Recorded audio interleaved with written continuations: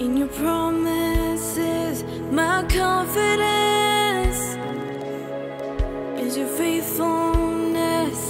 I will rest in your promises, my confidence is your faithfulness. And I will.